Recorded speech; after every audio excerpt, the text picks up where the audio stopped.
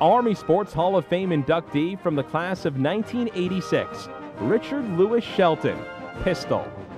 A four year letter winner and team captain in 1985 86, Richard Shelton starred as a shooter on Army's pistol team. The recipient of eight All America honors, he earned that distinction in all three disciplines during back to back seasons in 1984 and 1985. Shelton swept all three disciplines at the National Rifle Association National Championships in 1986 and became the first shooter to capture all three competitions in the six year history of the championship event.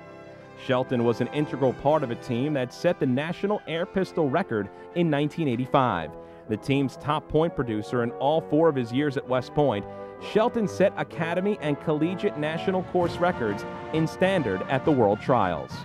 From the class of 1986, Richard Louis Shelton, Pistol.